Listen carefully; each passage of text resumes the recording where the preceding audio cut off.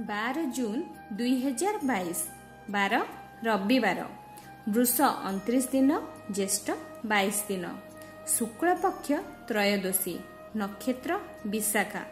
ଆଜିର ଚନ୍ଦ୍ର ରାଶି ହେଉଛି ତୁଳା। ଆଜି ହେଉଛି ଶିବ ପ୍ରଦୋଷ ବ୍ରତ। ମେଷ ରାଶିରେ ଘାତବାର। ଆଜିର ଅମୃତକାଳ ସମୟ ହେଉଛି ସକାଳ ସାତ ଘଣ୍ଟା ଚଉଦ ମିନିଟ୍ରୁ ଆରମ୍ଭ ହୋଇ ସକାଳ ଦଶ ଘଣ୍ଟା ଦୁଇ ମିନିଟ୍ ଏବଂ ଦିନବେଳା ବାର ଘଣ୍ଟା ଅଣଚାଶ ମିନିଟ୍ରୁ ଆରମ୍ଭ ହୋଇ ଦିନବେଳା ତିନି ଘଣ୍ଟା ଛତିଶ ମିନିଟ୍ ପର୍ଯ୍ୟନ୍ତ ରହିବ। ମହେନ୍ଦ୍ର କାଳର ସମୟ ହେଉଛି ସନ୍ଧ୍ୟା ପାଞ୍ଚ ଘଣ୍ଟା ଅଠେଇଶ ମିନିଟ୍ରୁ ଆରମ୍ଭ ହୋଇ ସନ୍ଧ୍ୟା ଛଅ ଘଣ୍ଟା ଚବିଶ ମିନିଟ୍ ପର୍ଯ୍ୟନ୍ତ ରହିବ।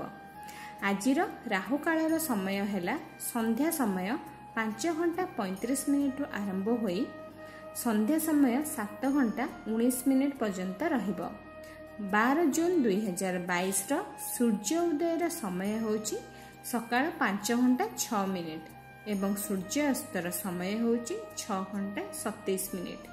ଏବେ ଆସନ୍ତୁ ଜାଣିବା ଆଜିର ରାଶିଫଳ ମେଷ ରାଶିରୁ ମୀନ ରାଶି ପର୍ଯ୍ୟନ୍ତ।